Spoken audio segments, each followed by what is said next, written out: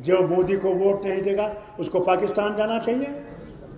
अरे जो मोदी को वोट देगा, उसको समंदर के अंदर डूब जाना चाहिए। जो मोदी को वोट नहीं देगा, उसको पाकिस्तान जाना चाहिए। अरे जो मोदी को वोट देगा, उसको समंदर के अंदर डूब जाना चाहिए।